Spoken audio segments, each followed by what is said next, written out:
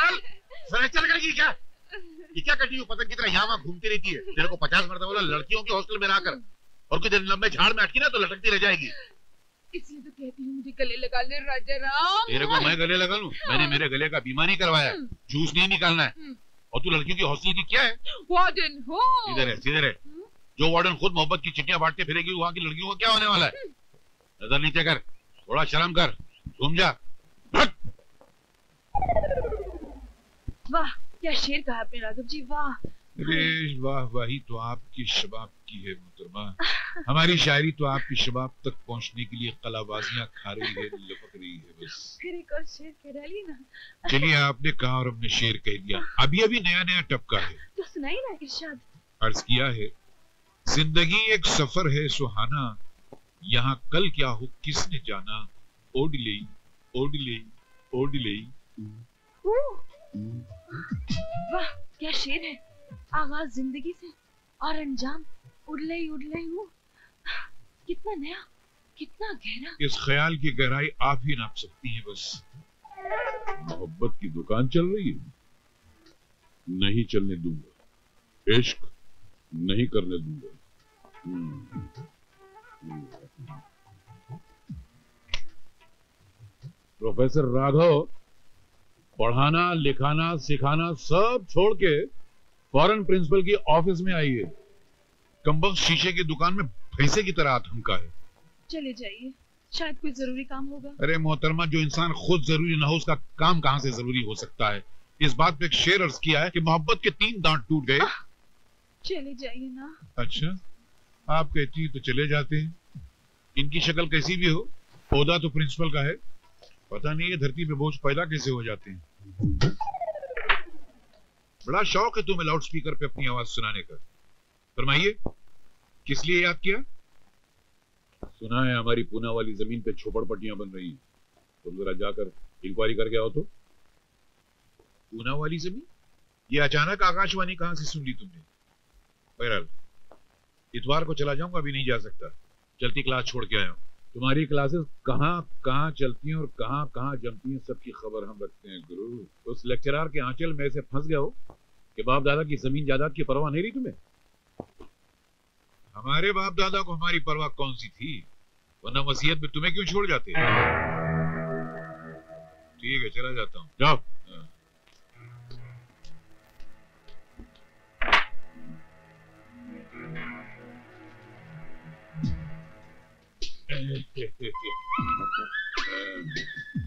अब उस लेक्चरार दुलारी को बताता हूँ। अबे बेवकूफ़, भाई की तरह दाढ़ी तो लगा ली, मगर ये क्या सूट पहन के दुलारी से मिलने जाएगा? ओह बहुत बड़ी गड़बड़ हो जाती। भाई ने क्या कपड़े पहने थे? वो सफारी। तुम गए क्या? जग हुआ अंधा कुआँ रेल छूटी, रह गया, केवल धुआँ।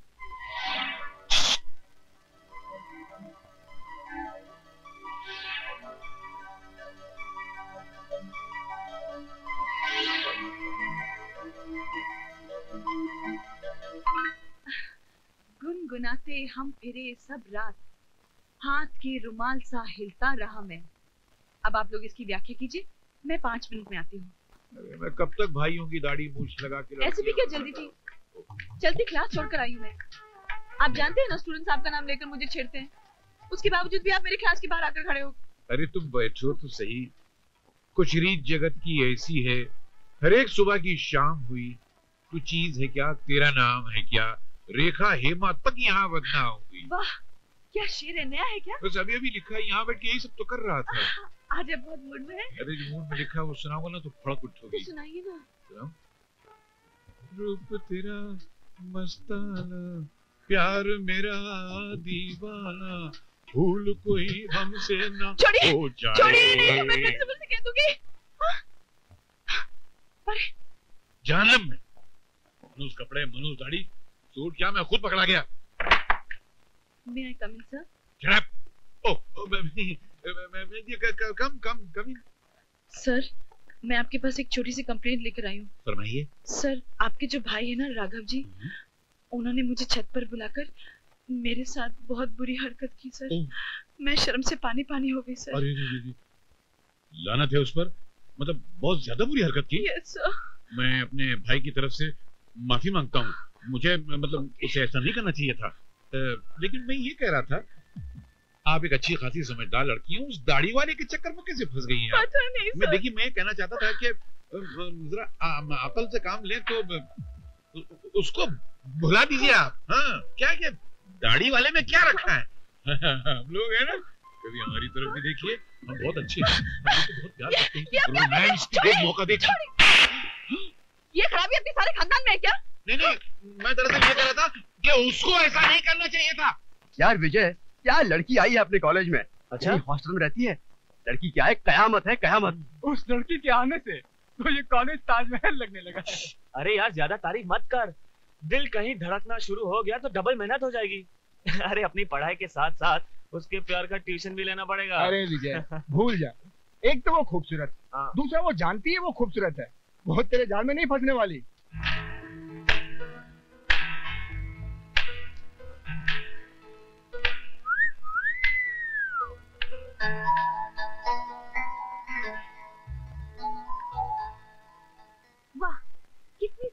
सीटी थी आप मुझे भी सीटी बजाना सिखाएँगे प्लीज़ हाँ हाँ। क्यों नहीं? इट्स वेरी सिंपल इस तबले की आवाज़ कैसी लगी? सुर में थी? आइंदा अगर मुझे देखकर सीटी बजाई तो ज़िंदगी भर इस मुँह से बेसुरी आवाज़ें निकलेंगी समझे? ओ पम पम पम। कम कम कम। और ओ चपरासी। जाओ विजय को बुला के लाओ। और मैं? हाँ तुम। तुम ही के राजा हो महाराजा हो कॉलेज के प्रिंसिपल हो कॉलेज को डिस्को बना रखा है। ए विजय या तेरे को वो हिटलर बुला लेना है? हिटलर? कौन हिटलर? अरे तेरा हेड मास्टर यार। अरे प्रिंसिपल साहब कहिए ना राजा राम जी? उसके लाइफ में कोई प्रिंसिपल है जो मैं उसको प्रिंसिपल बोलूँ? मैं प्रिंसिपल हूँ इस कॉलेज का। हर एक से पूछताछ करना मेरा हक है। और मैं तुमसे पूछता हूँ आजकल कॉलेज में क्या हो रहा है? तमाम लड़के रोमियो बन गए और तमाम लड़कियाँ जब वो जूलियट बच्चे हैं रघुपति। थोड़ी बहुत मौज मस्ती कर लेते तो हरज क्या है? अच्छा। और पढ़ाने लिखाने वाले माँ से जो दिल लगाते फिर रहे? राघव तुम्हें इस उम्र में दुलारी के गोद में मुशायरा करना शोभा नहीं देता है। तकदीर ने हम तीन भाइयों को एक साथ पैदा तो कर दिया। तुम्हें शाहजहां की कुर्सी पर भी बिठा दिया। लेकिन मुमताज़ और अनारकली हम दो भाइयों को घास डालती है तो तुम्हें जलन होती है। चले मेरी जूती। इडियट मे आई कम इन सर सुनो पढ़ाई लिखाई पे ज़्यादा ध्यान दो दूसरे कामों में कम। चले जा।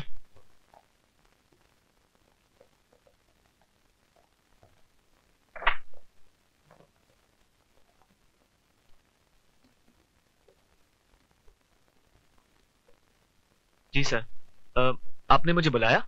जी। आपसे एक राय लेनी थी। मुझसे? जी। कॉलेज में नाच गाना तो हो ही रहा है। पढ़ाई लिखाई की क्या ज़रूरत है? बंद कर देते हैं। इसको वो डांसिंग स्कूल बना दे विजय तुम्हारी वजह से कॉलेज के स्टूडेंट ही नहीं लेक्चरर चपरासी सब बिगड़ते जा रहे हैं। आई एम सॉरी सर आगे से ऐसा कॉलेज में नहीं होगा sir this is the last warning इसके बाद कुछ हुआ ना तो मैं तुम्हें कान पकड़ के कॉलेज से बाहर निकाल दूँगा।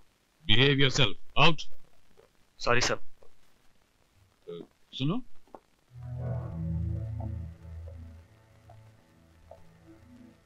वो जो नई एडमिशन आई है उसके साथ कुछ दोस्ती हुई?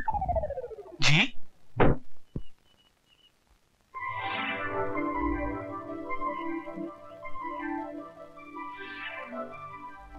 तुम?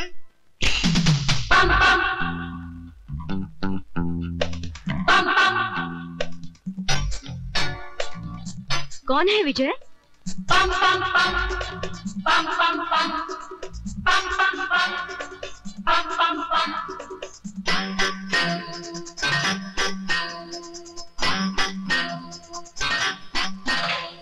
मैं दीवानी दुनिया जाने लेकिन ये तो जाने ना।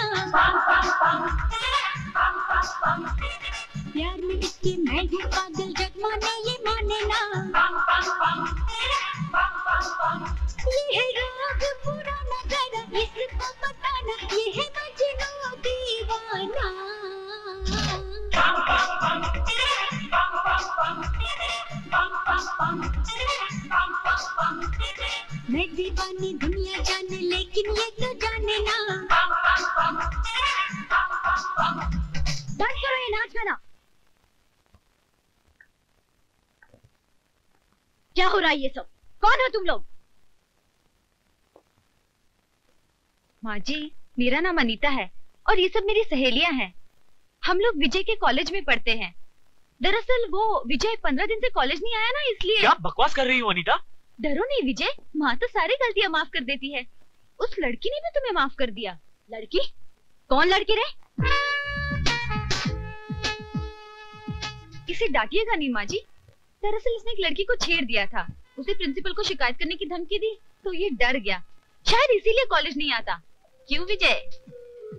घबराओ नहीं विजय। अब तुम बेधड़क कॉलेज आना। मैंने उसे समझा दिया है उसने शिकायत नहीं की। तो तू कॉलेज पढ़ाई करने के लिए नहीं आवारागर्दी करने के लिए जाता है। माँ ये झूठ। अरे आवारा से याद आया। वो तुम्हारा आवारा लुक्का दोस्त तुमसे मिलने आया था। कौन हमारा लुखा दोस्त? हाँ? अरे वही जिसके साथ मिलकर तुम नकली मार्कशीट और सर्टिफिकेट बनाते हो। क्या? नकली मार्कशीट? हाँ माँ जी। ये लड़के पढ़ते लिखते तो है नहीं। नकली सर्टिफिकेट दिखाकर घर वालों को खुश कर देते हैं। अ, अब हम चलते हैं। विजय कल कॉलेज ज़रूर आना हाँ? वो क्या है? कि तुम्हारी मस्ती के बिना कॉलेज बहुत सुना सुना लगता है बाय